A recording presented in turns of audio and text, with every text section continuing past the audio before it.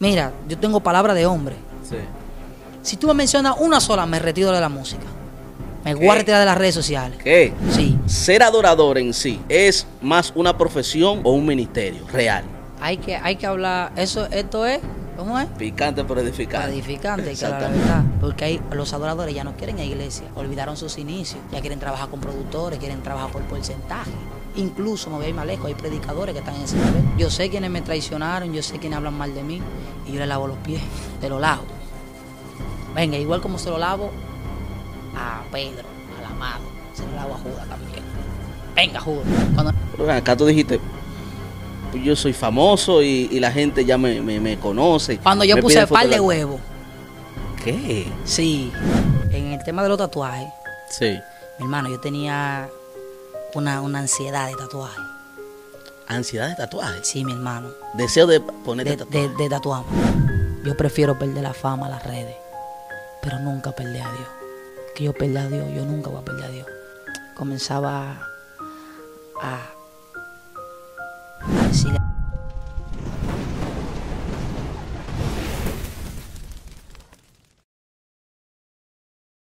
Picante pero edificante de show. El show más picante pero edificante del planeta. Sorpresa. Tú no lo esperabas, pero está aquí. Con nosotros, uno de los pioneros del movimiento worship actual, moderno. Un revolucionario de la industria, de la industria y, de, y, de, y del ministerio de la adoración no solo en República Dominicana, sino en toda Latinoamérica, pudo conectar la juventud, la juventud de los barrios, con la grandeza de los escenarios a través de un movimiento conocido como los Juntes. Es picante, pero muy edificante. Con nosotros, Misael J, señores. Ay, ay, ay. El hombre, el hombre. Por ahí tiene como la cartera mía. Se busca. Yo creo que, yo creo que esa, esa debería ser la portada de, YouTube. Se busca. Recompensa. ¿Cómo tú estás, hermano mío? ¿Cómo te Todo bien, gracias al Eterno. Qué bueno. Te hemos, te hemos sentido últimamente un poquito como distanciado de, de, de las redes, de muchas cosas. ¿A qué se debe todo eso? Mira, se debe dos, hay dos, eh, dos vertientes. Sí. Una que pasé por un proceso, muchos de mis seguidores saben, que pasé por un proceso de enfermedad Sí. grave, eh, ya que el año pasado había hecho un tour inmenso sobre el país completo, entonces la garganta se me desgastó un poco, Wow. tuve una infección en la garganta y esa infección me corrió a los pulmones, entonces me estaba bajo medicamento y por los doctores me, me, me obtuvieron a dos meses, sin cantar, sin eventos, sin nada, solamente yo estaba en las redes, tú sabes, y bueno, me mandaron a, de- a tomar descanso, tú sabes que tú no, no sé si tú me viste yo Sí, en mi caballo, en lo que me gusta, Sí, en, sí, en. Río, y pues ahí, pero ya estamos de vuelta, yo gracias a Dios estamos, estamos de nuevo, estamos nuevos. Qué bueno, qué bueno. Mira, para mí es súper importante tenerte aquí en, en Picante pero Edificante, porque una de las cosas que yo he debatido incluso, no sé si tuviste la oportunidad de ver la entrevista que hicimos con Redimido, yo le hice una pregunta sobre el worship Ok, y sobre el impacto que está teniendo el worship. sí, Entonces, la gente normalmente, que incluso algunos artistas me llamaron y me dijeron, pero es que el worship siempre ha sido la música predominante, pero no es, no es el mismo movimiento de ha no es lo mismo, ha ha cambiado. cambiado, mucho. Entonces, eh, yo quería tenerte aquí para, para, para, para hablar esas ideas, pero antes, a mí me gustaría saber eh, de ti como, como joven influyente que está impactando a través de la adoración, no solamente en la, la comunidad cristiana, sino eh, en el país completo. Ya tú eres, tú eres una, una figura del país eh, dominicana. Para ti, en esencia, ¿cómo tú defines la, eh, lo que es el worship, la adoración? Mira, la adoración. ¿Qué conciencia tú tienes sobre eso? Mira, es, yo siempre he dicho la adoración es algo simple y es lo que necesita todo, al- todo, todo adorador a la hora de componer una canción. Y la adoración es exaltar, rendir pleitesía al Todopoderoso. ¿Me entiendes? Sí. Reverencia. Entonces, eh, eso es algo simple. Incluso todo el ser humano, por naturaleza, necesita adorar a algo. Ya Sí, sea un palo, una, es como una naturaleza. Sí, hay una, hay una ¿Sí me inclinación. Entonces, eh, para mí es eso, la adoración es algo simple. Hay gente que siempre dice, no, que una vida... que-". Olvide eso, ese cliché ya está, estamos en ese está allá que no Sí. aguanta otro, otra repetición. La adoración es rendir reverencia. Reverencia. Y es un tema que yo de- creo que deberíamos de hacer solo, porque Es es que muy- eso está demasiado profundo. no, es que eso es muy, muy, muy amplio. Porque si es rendir reverencia, entonces no es solamente cuando canto. No. Ahí entra, Por es eso- un mundo. Ahí Por eso te dije que deberíamos, pa- si deberían, si tú de- quisieras que nosotros entremos en ese tema, entonces tendríamos que hacer una segunda parte de qué es adorar, de qué es adoración. No, ya tenemos la, la segunda parte seteada entonces ahí. Sí. Pero a, a mí me gustaría preguntarte, porque yo, yo, para mí, o sea, para mí, desde que te conocí eh, y vi eh, tu corazón, tu forma, pero sobre todo vi tu visión sobre la música y sobre las cosas que tú querías hacer, eh, yo vi una persona que vino a, a cambiar algo, a cambiar una industria, literalmente. Sí. Entonces, número uno, por, por ejemplo, que todavía es así en muchos lugares, se entiende o se entendía que el adorador tenía que tener ciertas posturas. Eh, el adorador habla bajito, pone las S donde van, familia, bendiciones. Así, así, una ética Exacto. Entonces la ropa también es como bien, todo como bien organizadito, Sí. bien, bien, pero tú viniste a La cambiar. tele. Sí, tú viniste, tú viniste a cambiar ese formato. ¿Qué, qué te motivó a eso? ¿Qué te, qué te llevó a eso? Sí, le voy, a, le voy a hacer un llamado a los a los adoradores. Esa es mi cámara, ¿verdad? Sí, es un sí. llamado a los adoradores. Ya suelten ese caque y ese marrón, ya. Hay más ropa, hay más colores. Oye, ya. Oye, ya, ya no aguanto otro video caque más, mi hermano. Oye, los fans están gritando, no aguantamos un video caque más. Vamos a hacer amarillo, rojo. Ay, mi madre. No, mira, realmente siendo, uno- es una realidad y algo que hemos visto incluso hasta en la Biblia. La gente, ¿cómo esperaba que el maestro iba a llegar? En carruaje, Claro. iba a llegar en, en una locura. Sí. Y sin embargo el maestro se le apareció con un burrito, con una sandalia, con una vestimenta que no era la de un rey. Sí. Hay gente que están esperando que quien revolucione el mundo sea una gente con corbata, sea una gente que lo engañe en lo físico. Sí, sí. Wow. sí. La gente ama que le mientan. A la ¿Tú gente sabías? disfruta eso.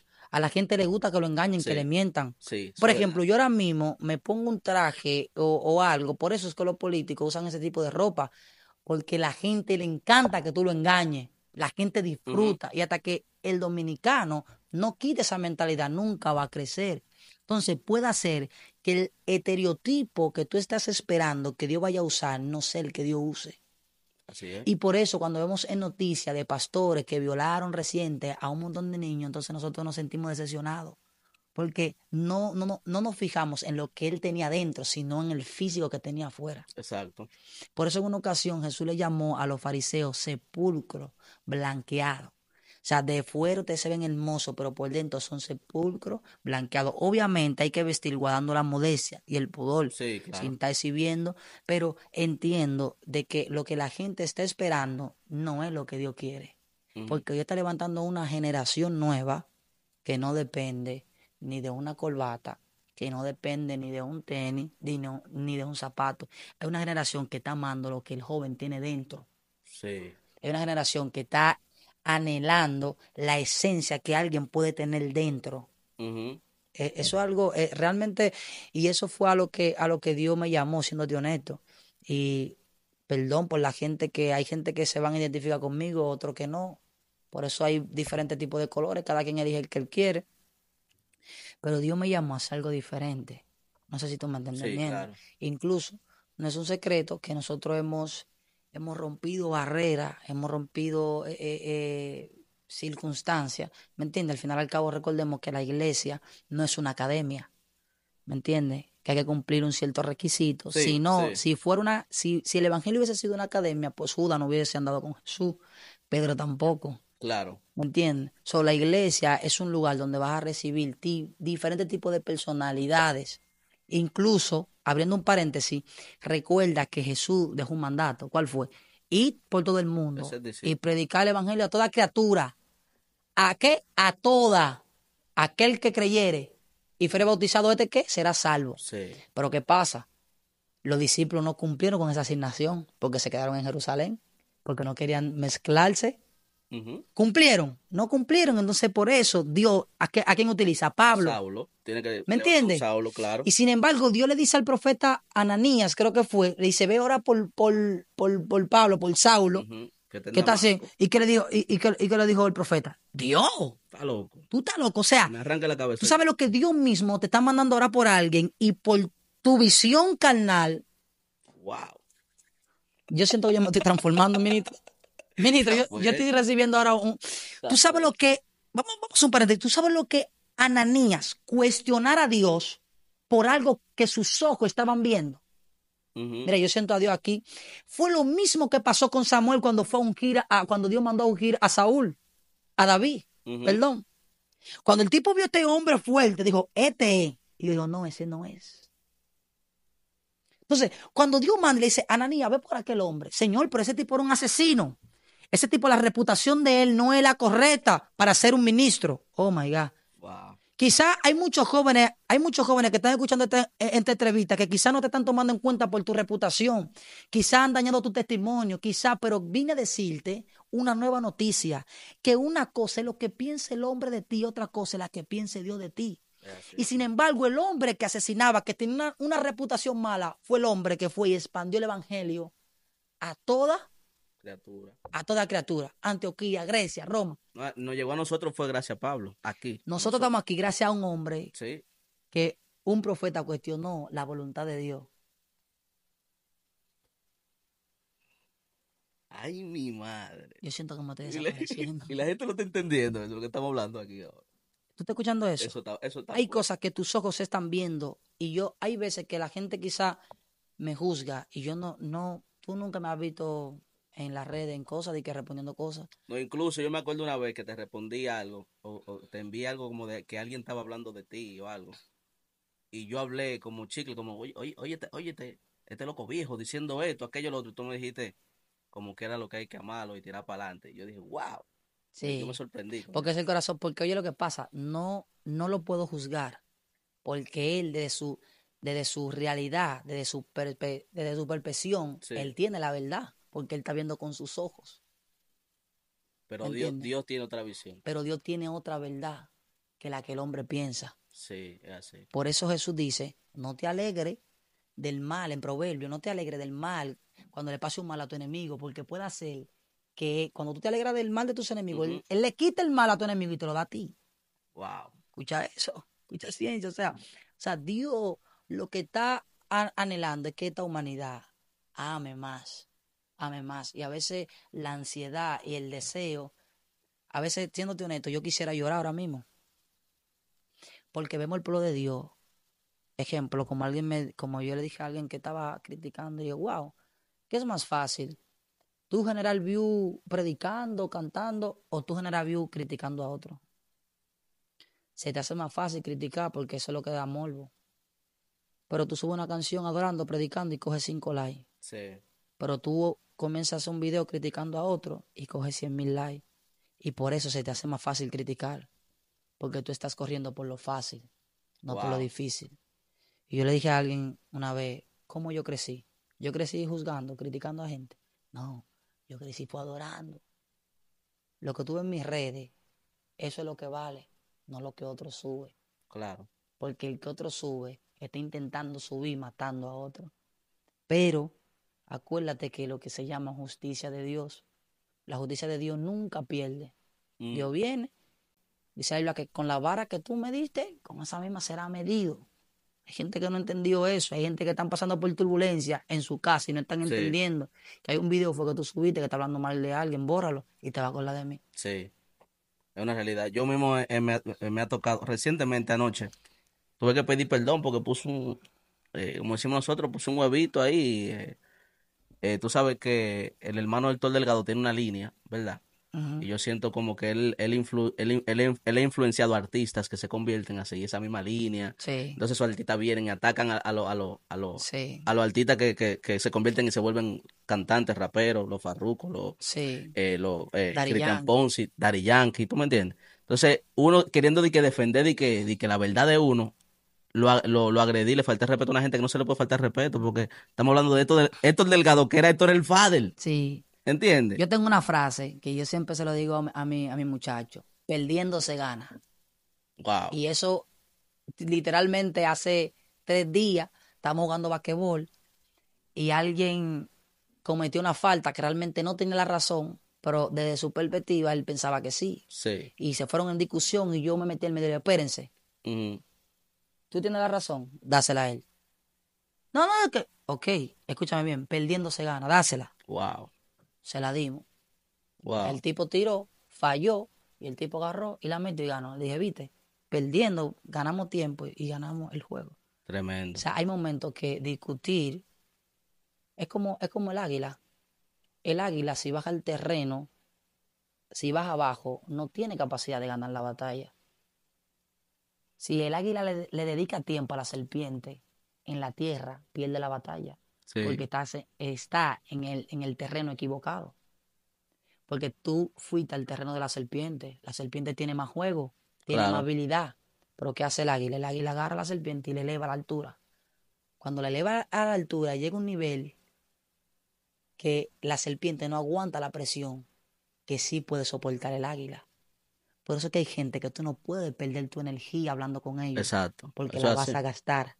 Llévala a esa presión que ellos no aguantan. Y hay una, y hay una, y hay una anécdota, Ay. hay una anécdota que quiero que agarren, que me enseñó un gran hombre que aprecio y admiro. Él va a ver esta, esta entrevista.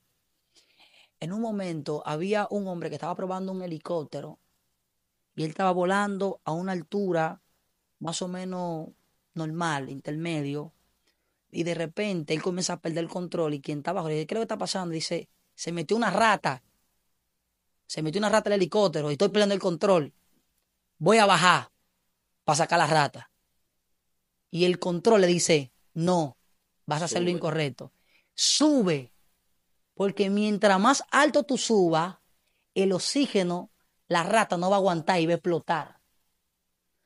Hay comentarios, mira, yo siento a Dios, hay comentarios, escucha esto, hay situaciones que van a intentar a que tú topes el suelo. Pero yo vine a decirte que en vez de tú topar el suelo, de tirarte al piso, ese es el momento donde tú tienes que elevarte. Porque todo lo que no aguante el nivel en, en el cual tú estés, Sí. va a tener que explotar.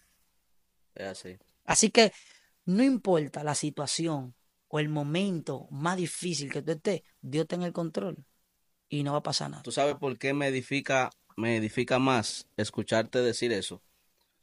Porque yo te veo practicándolo. Wow. Y eso, eso le da un peso de autoridad Gracias. a tus palabras que, que la gente no se imagina. Eh, una de las razones que ahorita te, te comentaba eso atrás de cámara es que yo no puedo tener a todo el mundo aquí en el podcast, a gente que me pudieran agregar valor y view. No, porque yo no voy a sentar a una gente ahí para que me hable mentira. No sé si tú me entiendes. Wow. No, no, porque al final del día no estoy, no estoy edificando realmente. La mentira no edifica. La mentira no edifica. Edifica más la verdad de tu vulnerabilidad que la mentira de tu santidad wow. fingida. Hey, es una frase, No, toque. Es real, mi hermanito. Pero volviendo un poquito al tema de, la, de, lo, de lo de la adoración. Yo veo ahora mismo eh, la adoración, a las personas que hacen adoración, y veo todo un formato, veo un personal brand, veo un equipo de trabajo, veo rela- re- relacionadores públicos, tienen merch, tienen todo una, un engranaje, una, una industria, literalmente. Hacen, hacen eventos grandes, cobran por porcentaje de taquilla. O sea, hay, un hay toda una industria Sí. ser adorador en sí, en sí, es más una profesión o un ministerio real. Hay que, hay que hablar, eso, esto es, ¿cómo es? Picante pero edificante. edificante, que la verdad. Siéndote honesto, ya eh, todo el que comienza, comienza con el ministerio. Pero cuando tú vas creciendo, se va perdiendo ese objetivo y se va Mm. convirtiendo en una empresa. Mm, Ya la gente no te ve como un adorador, sino como una empresa. Nota, tú dirás, mi, y eso está mal, obviamente. Nota, tú dirás, Misael, ¿y cómo tú tratas de lograr eso? Y eran mis oraciones día a día. Y es lo como tú dices, no es lo mismo tú hablar a tu, de tu perspectiva, tú hablar tú haciendo la realidad. Sí, No sé si tú notas que a veces eh, yo trato de, de ejemplo. Hay gente que me han matado porque yo voy a iglesia pequeña Sí, claro. La visto que voy, hago juntas, me reúno con la gente. Eh, no lo haga porque va a perder, no va a vender casi taquilla. No, eso no es verdad. Sí, No, no, no. no. sí. No, el- el que está viendo esa entrevista lo sabe. Los cantantes necesitan exclusividad para que tú tengas que ir cuando yo venga a un concierto, pagarlo. Ay, santo. Y sin embargo, yo hecho junte, yo hecho, voy a iglesia pequeña y cuando hago un concierto igualmente se llenan. Porque la gente ve tu intención. ¿Me entiendes? Y la gente sabe que el dinero que yo genero, al final al cabo, quienes son beneficiados son ellos mismos. Porque yo de la nada agarro y regalo cinco computadoras.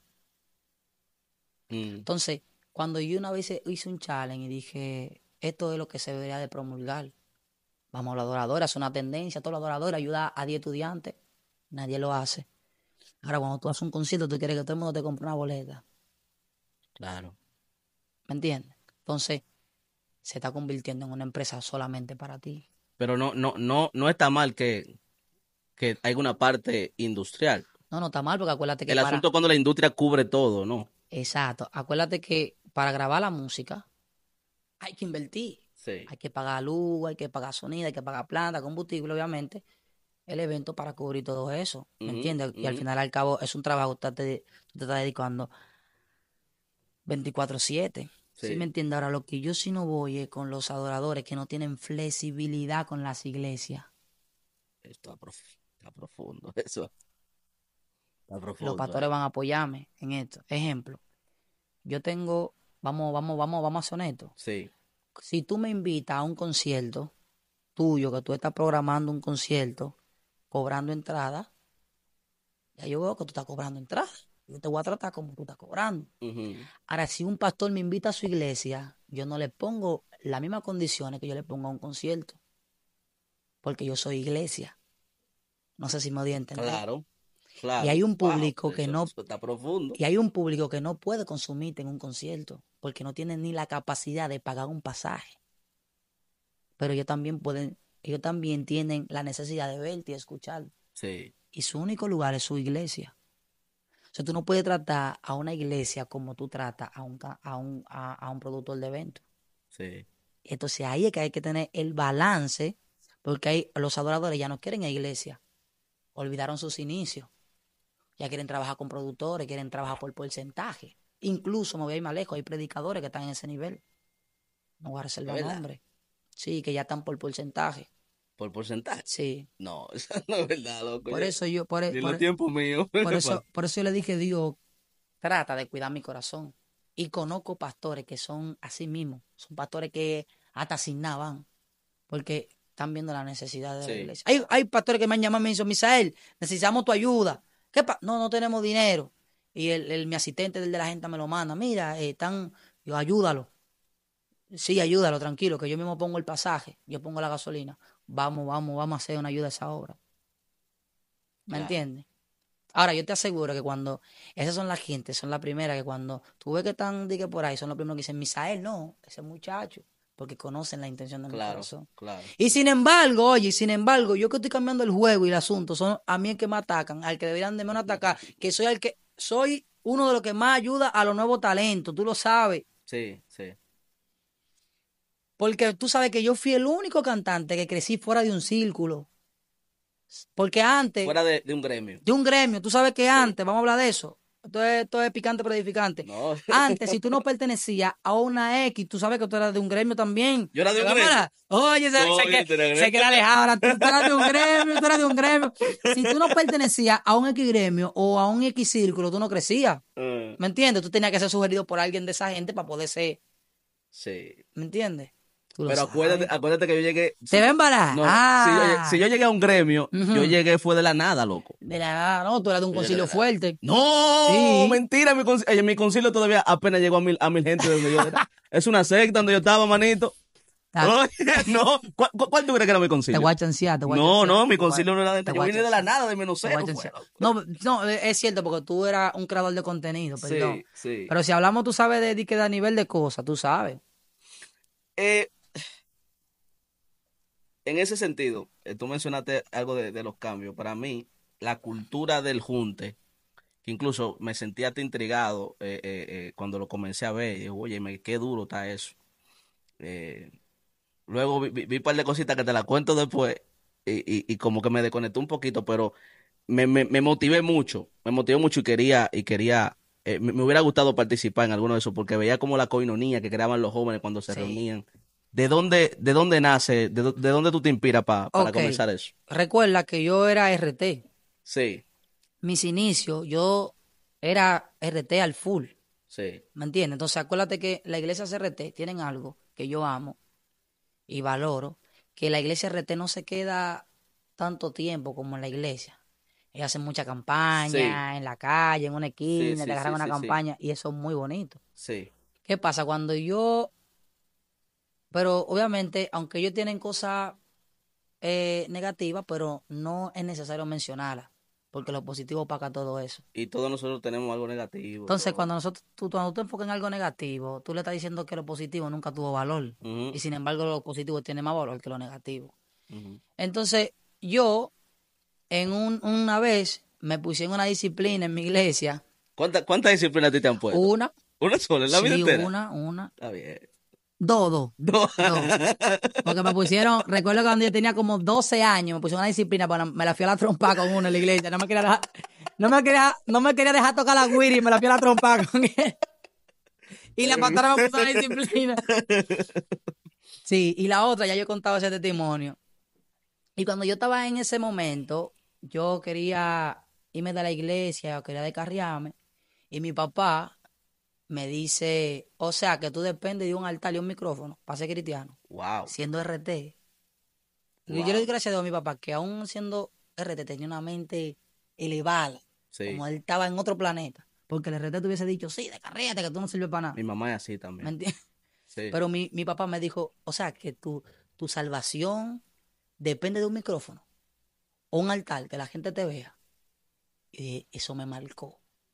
Y dije, si tú quieres adorar a Dios de verdad, agarra un, me- un megáfono y sube un plato y comienza a cantarle a los vecinos. Y así mismo lo hice, mi hermano. ¿Qué? Agarré mi megáfono y toda la mañana, a las 6 de la mañana, me levantaba yo a cantar.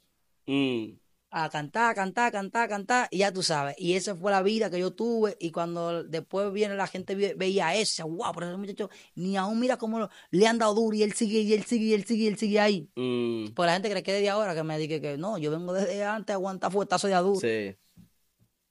Y cuando yo estoy en ese momento, recuerdo que una vez estaba haciendo un live en TikTok. Y ahí es donde alguien en, ti- en TikTok me dice, Misael, nadie me toma en cuenta en la iglesia. Yo me quiero salir de la iglesia. No me dan oportunidad. Otro me decía, ay, Misael, me pusieron en disciplina por un, di- por un poloché. Y yo veía toda esa, toda esa cosa y decía, wow, la misma iglesia Mm. está matando a la juventud. ¿Entiendes? Sí. lo, lo está alejando. Y tú acuérdate que tuvimos una temporada que no había jóvenes en iglesia. Sí, eso, sí, eso, eso, eso existió. Eso sí, tío, que Claro. estaba vacía, mi hermano. Tú entrabas a una iglesia, eran viejos nada más, literalmente. Sin embargo, todos juntos.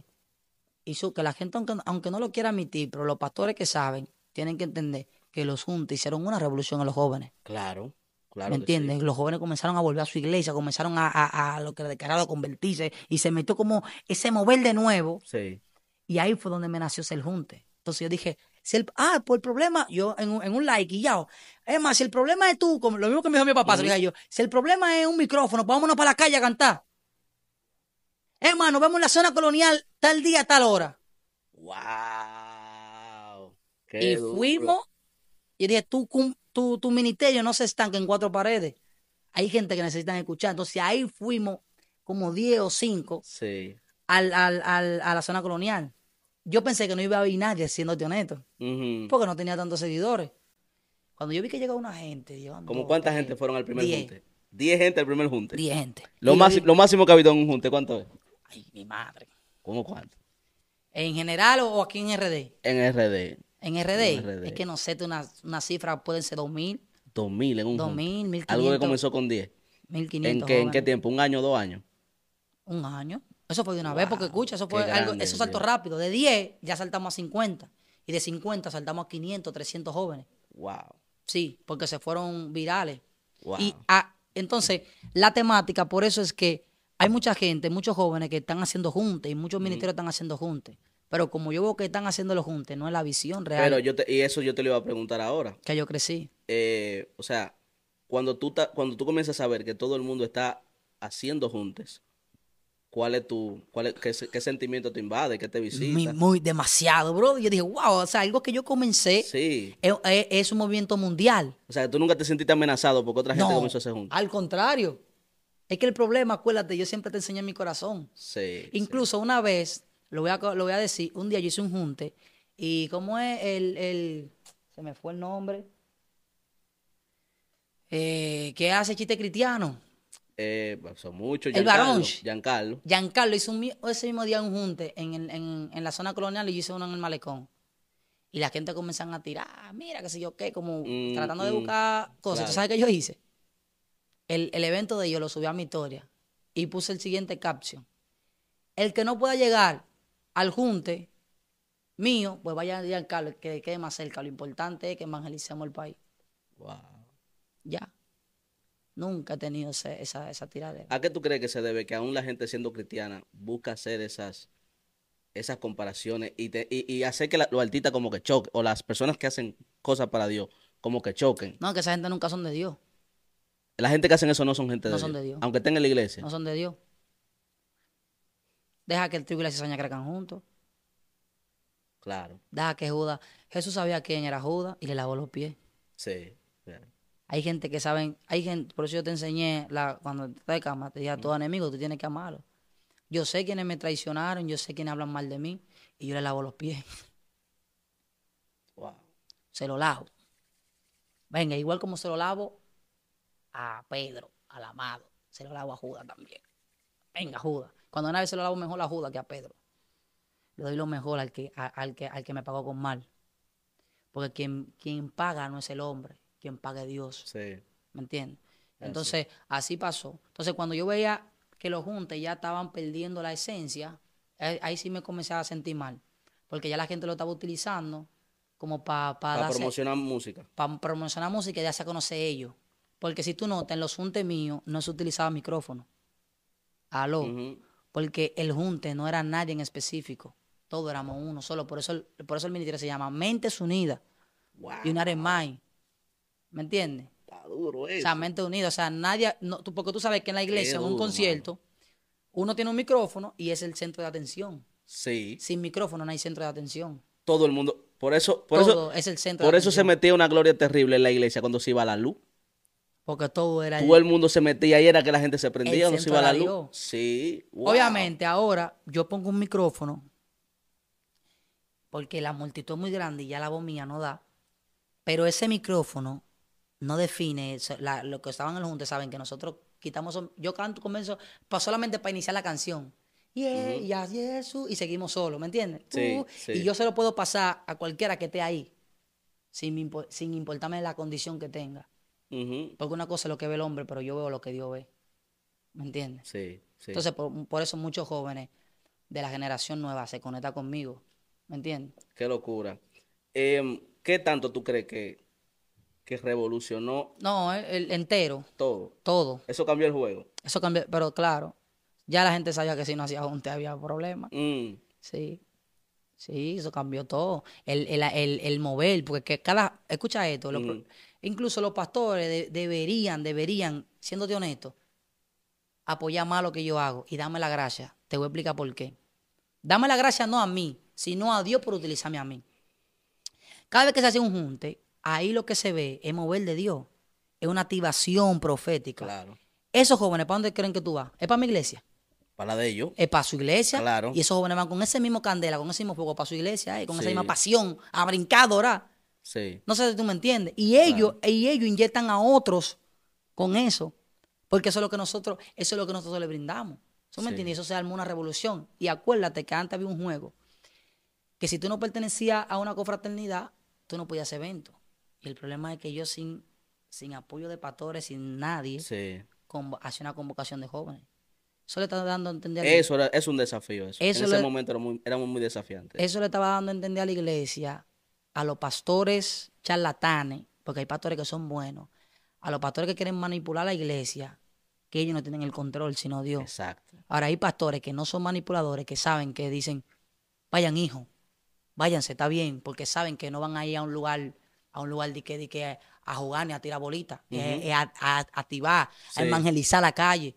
Y eso le, le, llama, le hace amar más, a tener más pasión por lo de Dios. Y aparte de eso, que es un trabajo, el otro enfoque que, no, que se me pasó es que los jóvenes teníamos un tiempo miedo hasta de decir que éramos cristianos. ¿Sí o no? Hace Tú lo mucho, sabes. Hace mucho, pero sí. Tú lo sabes. que di Camina- que, caminar con una Biblia es una Tú vergüenza. eres con una cristiano. Que- Ahora no, era un orgullo. Ahora, Sí. más, ahora se ha vuelto una tendencia. Sí, Yo soy cristiano y, es te, y te, verdad. te da, y te da orgullo. Ah, ¿Qué antes de que una gente que haciendo tito diga que es cristiano? Sí, real. ¿Me entiendes? Y nosotros Real. vamos para la calle y no nos da vergüenza vocear como loco, llorar en la calle y tirarnos del piso. Sí, real. ¿Me entiendes? Eso, eso y sí, eso, y- eso provocaron los juntes. Qué locura. Em, esta pregunta es picante. Suéltala. Yo estoy ready. ¿Tú crees que el movimiento Walshi opacó al movimiento de música urbana cristiana? Que estaba, que estaba, en todo evento había que tener un urbano obligado. Y tú, tú- tú sientes que, que de, de cierta forma como que afectó a- al auge que estaban teniendo los urbanos. Yo creo que no. Yo creo que es lo contrario. sí. Porque, claro, porque el Bolchi toma una revolución como más moderna, como más heavy. Entonces, ahí urbanos cogieron más fuerza, porque antes, por ejemplo, para un adorador cantar, tenía que ser con un X, X formato. Ahora todos los adoradores cantan con gorra Sí. y con poloché. O sea, ahora el urbano tiene más, más flexibilidad. ¿Sí me entiendes? O sea, yo entiendo que, que el urbano ahora lo que el urbano sí deberían de ponerse la pila. Porque Tú lo, están, tú lo sientes flojo, tú lo sientes flojo. pero flojo es poco. Hay que atesarlo. Sí, te voy a explicar por qué. Te voy a explicar por qué. Sí. Y casi la mayoría son amigos míos, ya sabes. Lo que pasa es que el urbano espera dame un día de, de un lanzamiento. Sí. Y se desconecta mucho de la gente. también. Ya, se desconectan de la gente. Entonces, al final, al cabo, la gente. Sí. Nosotros dependemos de la gente. Nosotros somos de la gente. ¿Me entiendes? Son, deben, de- deberían de estar más activos. ¿En qué momento tú dijiste, wow, este asunto de los juntes, acá tú dijiste, yo soy famoso y, y la gente ya me, me, me conoce. Cuando yo me puse el par de huevos. ¿Qué? Sí. ¿Cómo así? Yo no, ¿Cómo yo, así? porque yo, yo tenía, verdad, la influencia, pero yo no, no me, la fama como que nunca todavía. No te subió a la cabeza toda- nunca. No. Ya. Y le pido a Dios que me mantenga así. La fama nunca me se me ha subido a la cabeza. Nunca. ¿Tú me entiendes? Y a veces iba a lugares y, y como una persona normal, común y corriente, y veía, y de repente un video, una, y dice, "Ay, mi madre. Entonces tú, no sé si tú me estás Sí, entendiendo. sí, claro. Entonces ya me, me comencé a dar cuenta, ah, pero, ah, pero es verdad que yo, yo soy conocido. Porque ahora nada más se habla de mí. No sé si tú me entiendes. Sí, Porque sí. antes no, antes, antes oye, yo salía para todos lados y quién sabía que era Claro, yo, ¿me entiendes? Ahora claro, no. claro. Incluso una vez yo estaba bañándome en una playa, lejísimo, mi hermano. Yo estoy bañándome, mi hermano. Y estamos hasta dando free fly de todo. Y, y viene un, un y se me acerca. Y yo, y yo le digo a los muchachos, oye, cuidado, parece que nos van a atracar. ¿Qué atracar, mi hermano? Nos conocían, ya tú sabes. Ah, Y a pedirme una foto, yo sin, sin, sin camiseta. Por la playa, tú sabes. Como, claro, claro. Y, ahí mi madre. O sea, ya uno tiene, yo dije, ah, Dios mío, pero ya uno, tú sabes, comenzar a tomar Sí. más medidas. Y por eso, eh, como yo le digo a, a mucha gente, ténganme paciencia, ¿me entiendes?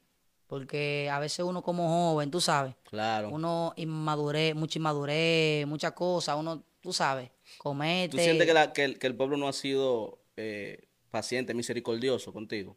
Sí, claro que sí. Sí. Hay mucha- yo no puedo encerrar y que a dos gaticos con el, si no fuera así, no la gente no me apoyara. ¿Me Claro, entiendes? No me invitaran claro. a su evento. ¿Me entiendes? La gente sabe.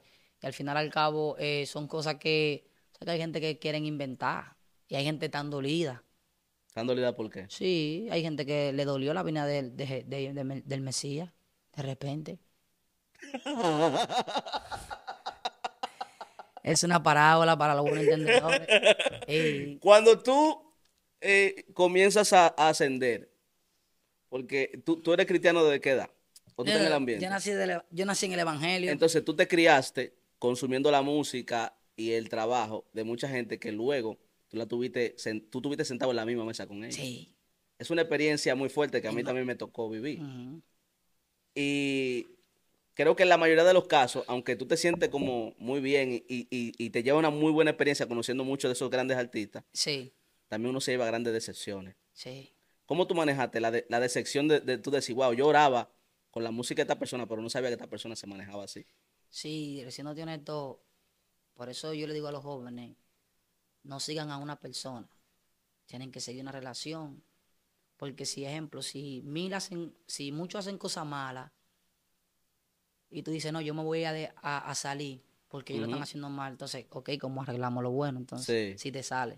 Sí. ¿Te acuerdas una vez que estábamos hablando y yo dije, pues, la- yo me he decepcionado mucho, he querido soltar la toalla, pero en ese momento digo, no, no, tengo que seguir porque tenemos que cambiar el juego Sí. de la industria de la música. Sí. Y fueron malas decisiones, siendo honesto, ¿me entiendes? Eh, pero estoy aquí, de pie, yo sé que algo nuevo va a pasar y está pasando algo nuevo sí. en lo que es la, la iglesia. Una nueva generación, mi hermano, que se está levantando, que, que no está en, en criticadera, en perder tiempo. ¿Cómo tú has lidiado con, con, esa parte? Por ejemplo, tú dijiste algo, que fue una conversación que tú y yo tuvimos, eh, porque tú me, eh, tú, tú me decías, no, es que yo ayudo, a todo el mundo hay que ayudarlo. ujú, Y yo, que Dios me ha dado el privilegio de ser un instrumento de él para poder ayudar a otros también, eso pesado que sí, yo disfruto ayudar, pero yo no coincido la idea de que, de que alguien me ayudó y yo voy a hacer algo que le haga daño a ese alguien que me ayudó. Te traicionó. Hermano, a mí no me entraba eso en la cabeza hasta que yo tuve esa conversación contigo. ¿Me entiendes? Y algo que uno lo sabe, Sí. porque todo el mundo sabe lo que hay que hacer. Pero no es lo mismo tú saberlo de, en teoría que tú internalizarlo en tu conciencia Wow. y vivirlo desde ahí. Todo el mundo sabe que hay que amar a la gente, Que hay que perdonar. pero vivirlo desde ahí, desde ahí, y que cuando una gente que tú amas te hace algo malo y- te lastima, tú venís, eso, bro, eso es difícil, Sí, eso es y difícil. Igualmente, para mí, siéndote honesto, para mí es un honor y un placer y un privilegio que de la conversación, que de un consejo que quizá tú sabes desde mi perspectiva, y eso deja mucho que decir de tu humildad, porque recibiste un consejo de alguien que, que en, un, en un buen dominicano, tengo menos edad que tú, tengo menos experiencia que tú, y lo cogiste y, y para bien, que me diste mucho, muchos resultados. Y lo mismo que te dije a ti, se lo quiero decir a la gente, y, y la respuesta te lo va a responder Misael, cómo, o sea, tú ayudas a gente, gente que te decepciona, gente que te fallaron y aún así tú sigues apoyándolo. Sí, Y cómo tú sigues apoyando gente, tú sabiendo que te van a traicionar. Y yo te voy a enseñar algo, y le quiero enseñar algo a la multitud. Cuando tú das esperando algo a cambio de la persona, siempre tendrás decepciones. Por eso cuando tú, cuando tú regalas un teléfono un día de tu cumpleaños, ejemplo, yo te regalo un teléfono a ti el día de tu cumpleaños, o sea, yo te estoy dando ese teléfono, dándote a entender a ti que el día de mi cumpleaños tú también tienes que regalarme algo muy importante. sí, Entonces, si el día de mi cumpleaños tú no me regalas nada importante, ¿qué pasa? Ahí viene la decepción, él no me quiere. Igualmente pasa en las relaciones amorosas. sí. Cuando tú le das amor y esa persona te, te paga con traición, ahí viene la decepción, viene la depresión, viene el orgullo. Ahora, cuando tú das algo, esperando algo a cambio no de ti, sino de Dios, tú sabes que aunque Él te decepcione, Dios te va a pagar el triple. Que si yo te regalé un teléfono, tú no me vas a devolver uno. No, yo estoy creyendo que el teléfono que yo te regalé a ti, Dios me va a mandar cuatro teléfonos. exacto. O sea, Wow. por eso es que yo no me decepciono de la gente cuando me fallan, porque yo nunca le doy algo esperando algo a cambio de ellos, ni lealtad, porque el único que me va, que me va a pagar con lealtad se llama Dios. Sí, ¿Me entiendes? Por eso la Biblia dice, en una de las ocasiones los discípulos dicen, Señor, ¿y cómo debemos de, de orar? Le dice, perdona nuestras ofensas, como yo perdono. A lo que me ofenden. O sea, lo que te está diciendo en pocas palabras, yo soy el único que paga con justicia. Sí. ¿Me entiendes? Así que cumple con perdonar y ya, simplemente. esa parte es que, bro, eh, o sea, y yo sé que mucha gente se, mira, se identifica porque, honestamente, yo pensaba que eso de que gente envidiosa, eso era algo que ponían en la película para darle, para darle sentido Ajá. a la película. Yo no sabía que, Sí, eso que podía haber tanta envidia. Y cómo puede existir tanta envidia en un ambiente donde se supone, donde se supone que el centro es Jesús.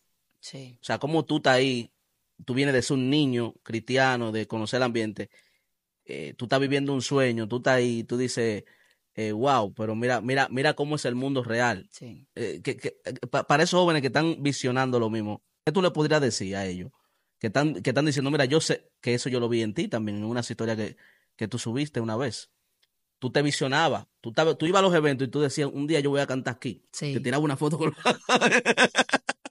Esos jóvenes que se, que, que se están viendo a sí mismos, ¿qué tú le puedes decir para que cuiden su corazón? Porque al final del día lo más importante es cuidar el corazón. El corazón, ese es el evangelio.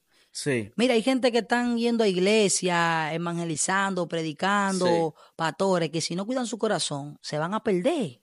¿Me entiendes? Se van a perder. Hay muchos hay muchos pastores que, que están Mu- caminando, están corriendo con el corazón de- con el corazón de Muchísimo. Escúchame bien, una vez yo enfrenté a un pastor, porque a mí no me gusta el abuso. Wow. sea quien sea, yo lo enfrento. Una vez un pastor estaba eh, eh, tratando como de, de, de opacar a un miembro y lo mató, todo esto, lo otro. Y yo no tengo que ser profeta para decirte la verdad. Y yo me le acerqué al pastor con toda, con toda humildad. Le dije, pastor, una pregunta. ¿Usted perdonó al pastor que tiene la iglesia más grande que usted? Que usted siente envidia por él. ¿Usted perdonó a ese pastor de la confraternidad que no se soportan mucho, que usted no lo puede llevar bien? Mm, Usted lo perdonó ya. Usted perdonó a ese hermano suyo que usted sabe que no lo pasa. O usted perdonó a su mamá, a su papá que, que tiene tiempo que no lo llama. wow. El pastor comenzó a llorar. Y él pensaba que yo le estaba hablando de parte de Dios, Que tú le estabas profetizando. profetizando. y quiero, y quiero que la gente abra los ojos con esto. Hay profetas que profetizan algo que se sabe. Por eso yo no, tengo, por eso yo no le dije al pastor que Dios me dijo. No, que es una realidad que vivimos todos.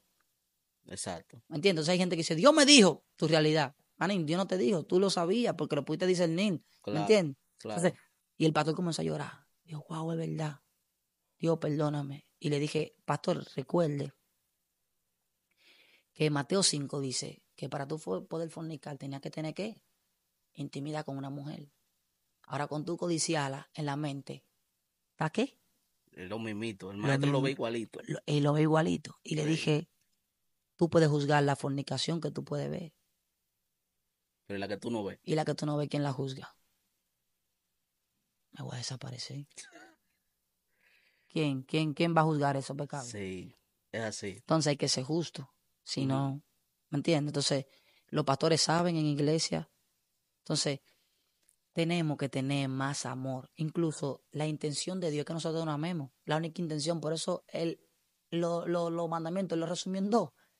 Miren, Moisés inquebrantó mi ley. En Jeremías 31, 32 dice, y yo haré un nuevo pacto porque ellos inquebrantaron. Moisés Ujú. quebrantaron los diez mandamientos. Entonces, oye, yo le voy a dar algo más fácil. Se lo voy a resumir en dos. Amen a su prójimo como a ti mismo Sí. y amarás a Jehová tu Dios sobre todas las cosas. Sí. ¿Me entiendes? Entonces, en la antigüedad tú fallabas. Era algo injusto. ¿Qué tú hacías? Un sacrificio, ofrecí un cordero y automáticamente tus pecados eran ¿qué? Cubiertos. No era de que, que tú esperabas un, un mes, como era en la iglesia, de que Sí. un mes, un año de disciplina para tú ser perdonado. No, en la antigüedad era, usted hace un sacrificio y Sí. otro era perdonado, automáticamente. Ahora, pero era una ley injusta. Porque, mi hermano, si yo hubiese tenido, si, y si tú eres rico, tú tienes 100, 100 ovejas, y yo soy pobre y nada más tengo nueve, yo puedo pecar ocho veces nada más. ¿Me entiendes? Yo me imagino, Feliaquino, tú y yo en ese tiempo, no hubiésemos tenido ni una gallina. Eso no, no es justo. ¿Me No justo porque si yo tengo 500 puedo pecar más.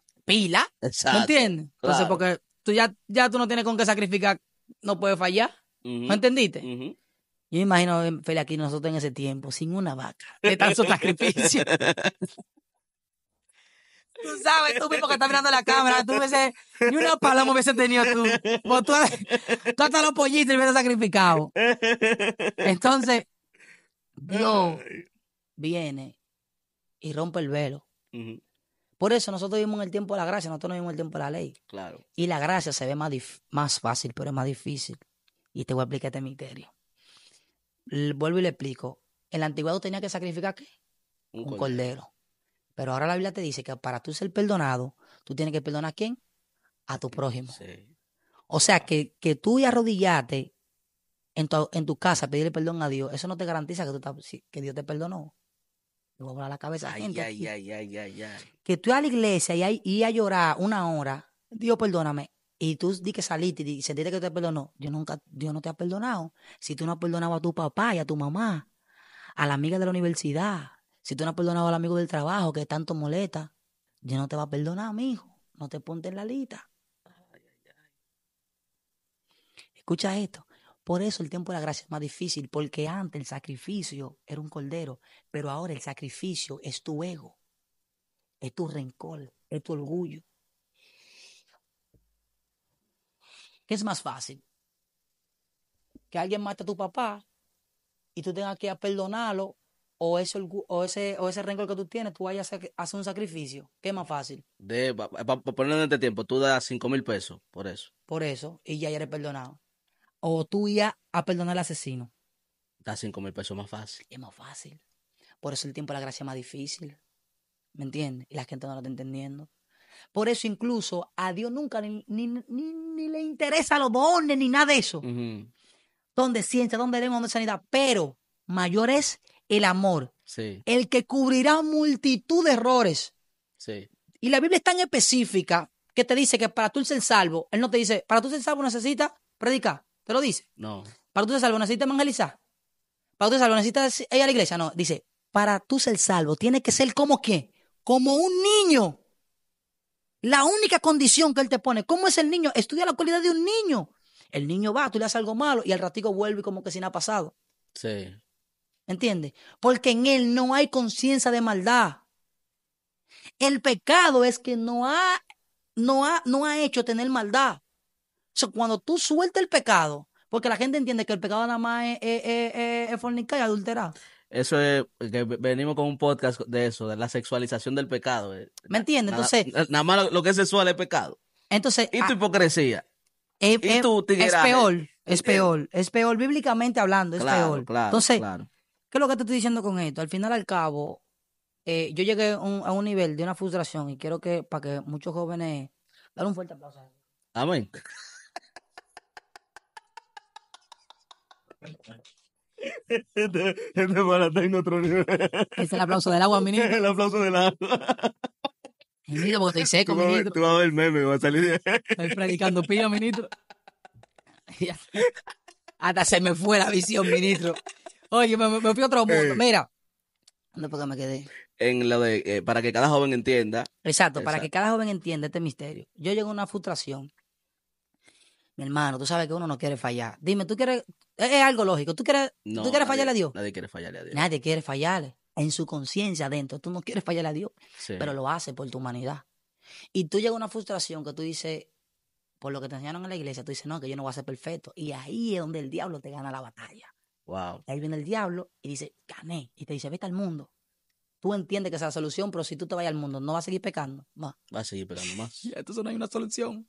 Pero entonces hay un dilema ahí. Dame. Y, y, eh, perdóname que, te, que, pon- que Dale. ponga de ejemplo. Yo he visto las críticas aférrimas que te han hecho. Ajá, Y como muchos hermanos se levantan contra ti hasta por cosas tan sencillas como tener tatuaje. ajá. ¿Qué, ¿Qué expectativa es la que ellos tienen? Porque, ¿qué- ok, está bien, tú no quieres que él sea cristiano, si tú prefieres que, que él se pierda afuera. Exacto. Tú, tú- tú prefieres que Porque diablo lo si- lleve afuera. Si me voy afuera, voy, voy a... Porque si tú estás dentro, tú, tú tienes una, una esperanza de rectificar y de corregir. Pero si tú estás fuera ya, te llevó, te, te llevó el que no te trajo. El diablazo, mi hermano. Tú sabes quién te va a llevar. ¿Me entiendes? Sí, sí. ¿Y, y cómo, cómo, cómo, tú, cómo tú puedes lidiar con eso? Te, te voy a explicar que lo voy a enseñar a Sí. los jóvenes. Entonces yo llegué a esa frustración que decía, ejemplo, eh, en el tema de los tatuajes, Sí. mi hermano, yo tenía una, una ansiedad de tatuaje. Ansiedad de tatuajes. Sí, mi hermano. Deseo de poner De, de, de tatuarme. ¿Qué? Sí. Quería tatuarme. eso. Quería tatuarme. ¿Sabes qué me dio un consejo un amigo? Me dijo, pero descarríate y te convierte de nuevo. Pero eso de verdad que te dio ese consejo. Sí. Me dijo, ve, descarríate, vete al mundo. Y entonces cuando tú tengas los tatuajes, tú vuelves de nuevo a la iglesia. Mm, Y así no le hace el, el daño a Dios. Porque en ese tiempo no tenía conocimiento bíblico, obviamente. claro. ¿Qué? Y así lo hice, compa. Me descarrié. Me fui al mundo, recuerdo tenía 18 años, me fui al mundo y me hice, me hice uno, uno, uno, unos par de tatuajes, mi hermano, y cuando dije, pero yo, estoy- yo estoy peor. pero el diablo me está llevando porque eso me llevó, el tatuaje me llevó a, a fumar marihuana. Mm, Sí, porque todo eso que te conlleva a otras cosas. sí. Porque hay un punto que los cristianos tienen. Por eso cuando un, un joven me pregunta a mí, me dice, "Di que yo me puedo hacer tatuaje. Mi pregunta es, pregúntame, Eh, yo me puedo hacer tatuaje ¿dónde tú te congregas? en la iglesia de Cristo Salvador. ¿Quién es tu pastor? El pastor Fernando Ramírez. Entonces, pregúntale a tu pastor si tú puedes hacerte tatuaje, porque yo no vine a adoctrinar. Yo lo que soy adorador. Matado. Ya. Ahora, malo estaría que no estoy de acuerdo con el, con el clan tuyo, que tú sabes, se lo he dicho, que quieren imponer cosas que la gente no quiere escuchar. Malo sería que yo prom- promueva los tatuajes. ¡Háganse sí, tatuajes! No, al contrario, digo, no se hagan tatuajes, porque si se hacen tatuajes no van a poder trabajar, Sí, sí. no van a poder entrar a la policía. No sé si tú me estás entendiendo. Claro. claro. Es algo, el tatuaje, mira, es algo como la ropa también, es algo de tu conciencia, como dice Pablo. ¿Me entiendes? Es algo que si tu conciencia, ejemplo, lo arete, ¿Cuál, es- cuál, cuál, es- cuál es el clan mío? El clan mío. ¿cuál la, la cadena, la cadena, ejemplo, la cadena. Ah, ¿Tú me ves con cadena? no, no. No me gustan. Antes la- me la ponía, pero llegó a un nivel como que no me sentía bien y me la quité. Pero porque yo no la tenga, yo no puedo decir que, que para ti es malo. Pero es que a mí a lo personal no me siento bien, no me, no me gusta. ¿Me entiendes? Me siento como, como raro. Y no me gusta la cadena, y punto. Pero porque es algo propio mío. O sea, una relación mía propia, yo no la puedo llevar a algo tuyo. No sé si tú me estás Sí, entendiendo. sí, sí, claro. Puede ser un ejemplo que hay gente que tomando vino se emborrachen. Pero puede ser que el, que el, el prójimo tuyo está tomando vino para hacer digestión. No lo critique. Sí, Porque esa es tu perspectiva, la mía es otra. ¿Me entiendes? exactamente. En la fiesta habían pila de gente bebiendo. Lo único que se desacató fue Noé. Por eso Dios se avergonzó de él. El problema es cómo tú le das el uso a cada Claro. cosa. Porque incluso hasta los medicamentos que tienen. Entonces, Son- no, no, me- no vamos a medicar porque tienen. No, es el uso que tú le estás dando. ¿Me está entendiendo? Claro, claro. O sea, al final al cabo, ¿qué tú quieres hacer con eso? Entonces son temas profundos que, que vamos a hablar después. ¿Cómo tú consideras que nosotros como,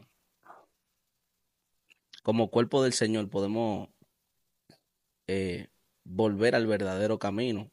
Porque te digo eso, no, eh, eh, no diciendo, wow, es que estamos en el mal camino.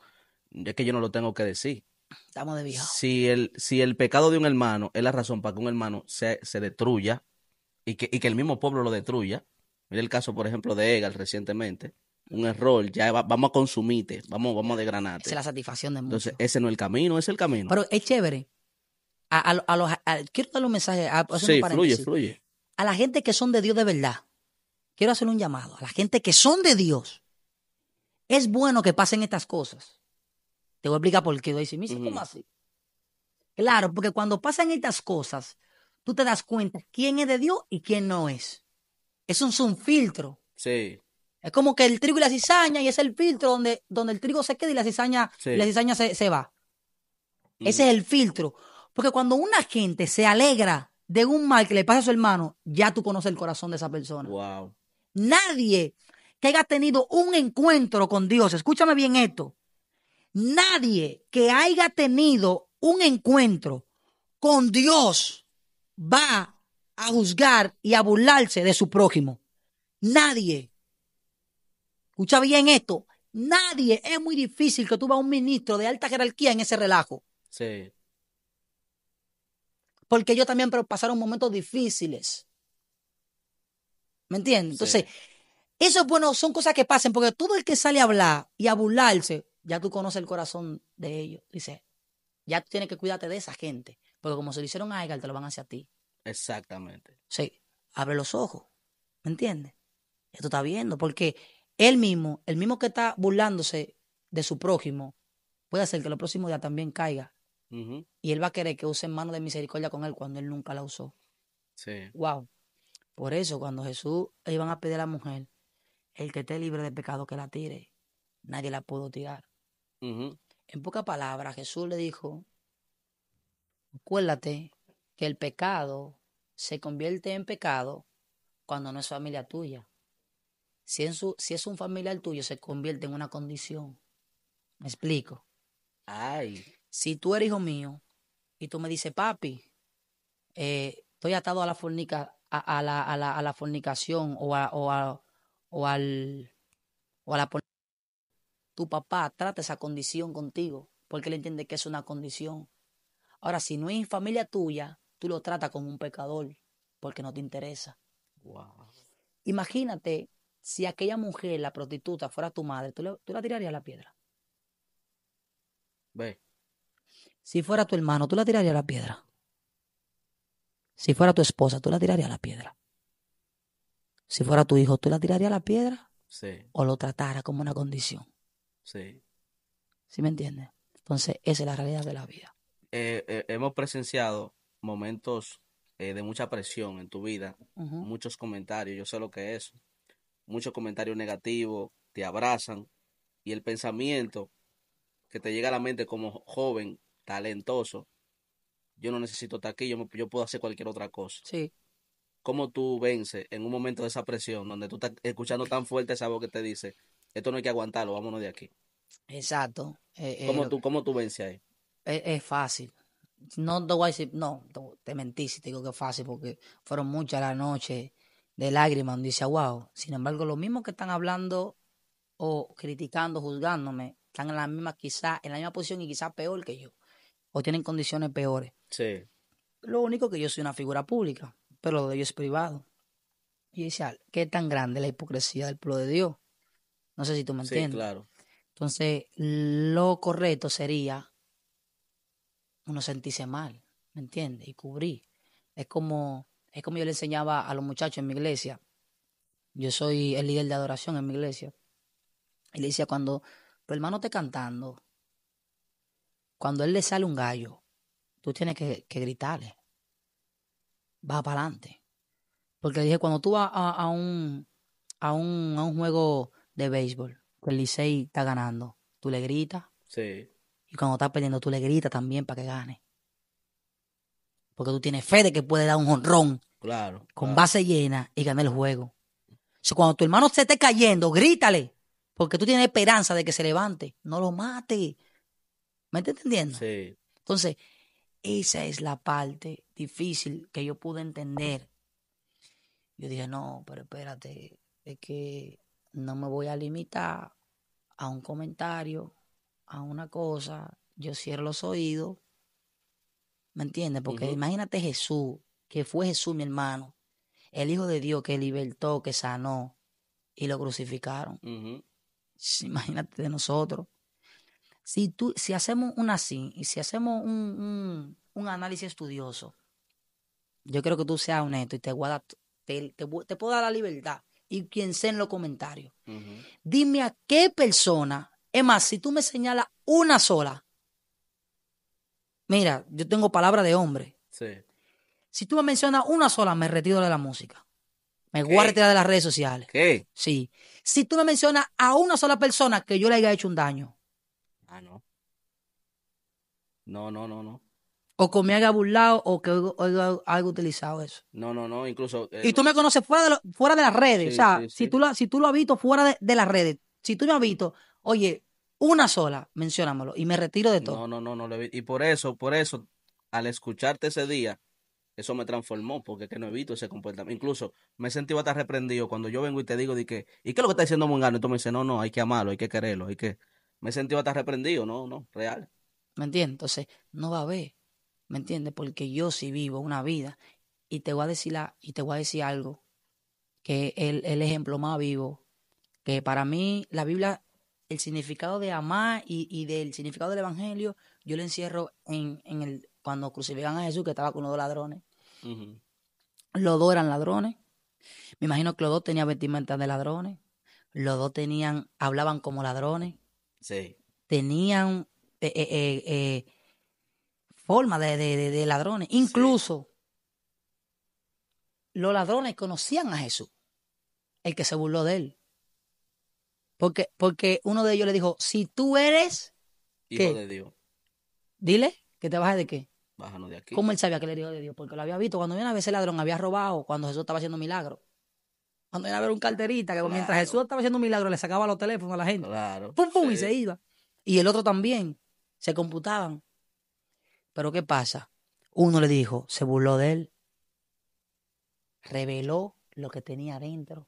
Sí, sí, Pero, ¿qué pasó con el otro? Reveló su qué, su realidad. sí. Él dijo, yo, yo sé que yo soy un ladrón. Son muy fuertes, brother. Wow. Yo sé que yo soy un ladrón, pero tú, tú no eres ladrón. Es el evangelio ahí. ¿Sabes qué dijo Jesús? Desde hoy estarás conmigo en el paraíso. Por eso yo no juzgo a nadie, porque yo sé desde mi punto de vista que yo soy un pecador, que yo he sido mi hermano, que yo he hecho cosas atrozas en esta vida. Mm. Y como yo sé que yo he sido pecador, no tengo la capacidad de juzgarte a ti, Feliaquino. Porque también en la misma posición, también me encontré como tú estabas. Y como yo quise que Dios tenga misericordia de mí, también la tengo que tener contigo. Wow. O solamente la gracia para mí, o solamente la misericordia para mí. Porque no puede ser para ti. Entonces, en ese momento, el problema es que hay gente que acusan a otro para tapar su pecado. Y hay otros que revelan su pecado para que otros puedan creer en que como Dios lo levantó a ellos, puedan levantarte a ti. Esa es la realidad del Evangelio, manito. Esa es la realidad del Evangelio. Eh, esa, esa imagen que tú acabas de, de poner sobre la mesa Jesus. Mira, que hasta el ambiente la, No, cambió, cambió, todo, todo. porque es que ese, es- ese es el evangelio. Ese es el evangelio. El evangelio no es esta comunidad de, de gente que, que, que se reúnen, que hay controversia, que hay cosas buenas, cosas malas. No. El evangelio es ese acto de un pecador decir, yo sé lo que yo soy, pero tú eres el hijo de Dios, sálvame. Ese, ese, Por eso no, no Wow, hay, bro. por eso no hay condiciones. En pocas palabras, el ladrón le dijo, en esta tierra, Señor, no hay condiciones de nosotros poder ser perfectos. Yo sé que yo soy un pecador, pero tú sí. Por eso yo no puedo tener la mirada ni en un pastor, ni en un líder, porque el único que puede ser perfecto se llama Jesús. Todo el hombre que está en esta tierra falla. Por eso Pablo dijo en una ocasión, no hay un hombre en la tierra que haga el bien y no peque. No hay un solo. tremendo. Puesto los ojos En en Jesús. Jesús. El, el único, en el único. Entonces, nosotros, esa misma empatía que queremos que Dios tenga con nosotros, tenemos que tenerla con el prójimo. Entonces hay gente que no está entendiendo. ¿Y por qué me va tan mal en la vida? Es que tú no estás, es que tú no estás dando lo que Dios quiere que tú des. ¿Me entiendes? Sí. Entonces hay gente que han dicho, hay gente que, que me lo han dicho en mi cara, gente lleno de odio. Pero yo no A ti sé. te han hablado lleno de odio. Sí. Te han dicho, ¿por qué tú eres? Mi hermano en el gimnasio un tipo me agarró. ¿Qué? Tú eres un impío, tú eres esto. Y yo no sé, como, como todavía, con todo lo que ha pasado, tú sigues de pie. Tú tienes que estar en el mundo, eh, descarriado. Y yo lo miré a los ojos y le dije, esa sería tu satisfacción. Pero esa, esa satisfacción nunca se te va a dar. Yo prefiero perder la fama a las redes, pero nunca perder a Dios. Y eso es lo que ustedes quieren. Que yo pierda a Dios. Yo nunca voy a perder a Dios. A mí no me interesa porque yo nunca quise tener la fama. El que conoce mi ministerio sabe que ni yo ni cantaba, ni sabía cantar. Yo era tartamudo, mi hermano. Yo no sabía ni, yo no podía estar aquí hablando contigo. Incluso todavía a veces tengo problemas en la edición cuando hablo. Qué grande Dios, mano. Hay gente que no entiende. O sea, yo no quise estar aquí. ¿Me entiendes? Pero lo que pasa es que yo soy un ejemplo para los jóvenes. ¿Sabe por qué? Qué bueno que pasó todo, todo- todo- que ha pasado toda, todo este asunto. Es para que tú entiendas, joven, que aún de lo más bajo que tú hayas caído, de ahí Dios te levanta.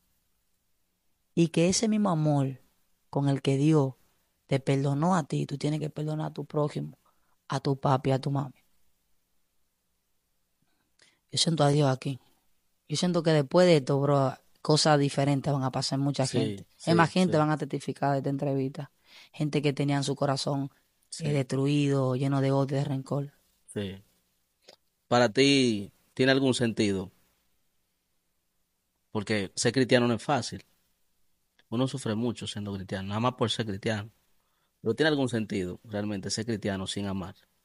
No ¿Tiene algún sen- sentido vivir sin, Wow. sin, sin amar a la, a la gente? Entonces, ¿por qué ponerle tanta, tanta energía al odio, a la, a la crítica hacia el otro, a la derrota del otro? Es increíble, es increíble, es increíble. Es increíble cómo, sin darnos cuenta, nosotros no hemos desviado del principal foco, que es, que es el amor. es el amor. Mira, yo en una ocasión estaba en mi casa. Estaba solo en mi casa y te voy a decir esto de lo más profundo de mi corazón. Y mientras yo estaba en mi casa, comenzaba a, a decirle a Dios y le decía,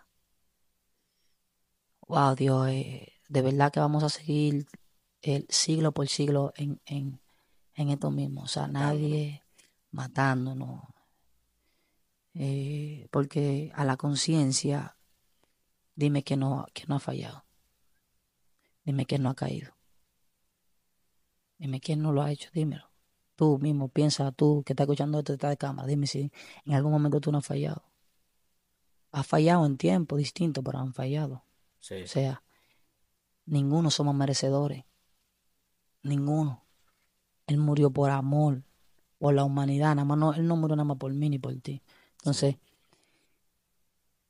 no hay satisfacción. Yo quiero que tú entiendas que si tú estás adorando y estás cantando, o eres un pastor que está dirigiendo una iglesia, o eres un ministro que está dirigiendo un, un, un, un liderazgo de adoración, y tú sabes que tú no, tú no soportas a tu hermano, a tu prójimo, estás haciendo todo lo que estás haciendo, lo estás haciendo en vano.